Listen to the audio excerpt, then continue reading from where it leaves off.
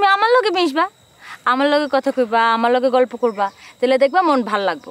এখন চলো আমগো বাড়িতে চলো আজকে তুমি আর আমি পাঙ্গাস মাছ দিয়ে ভাত খাব দরকার নেই পাঙ্গাস মাছ আমি খাইনি গন্ধ লাগে।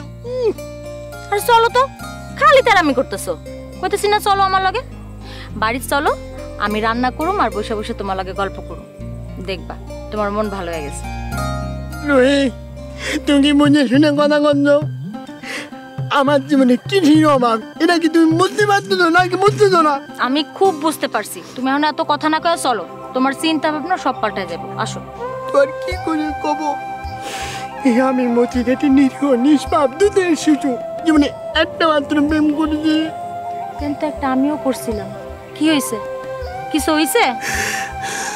আমার প্রেম তো একতরফা ছিল। যারে ভালোবাসছিলাম সে তো আমার কোনোদিনই ভালোবাসে নাই।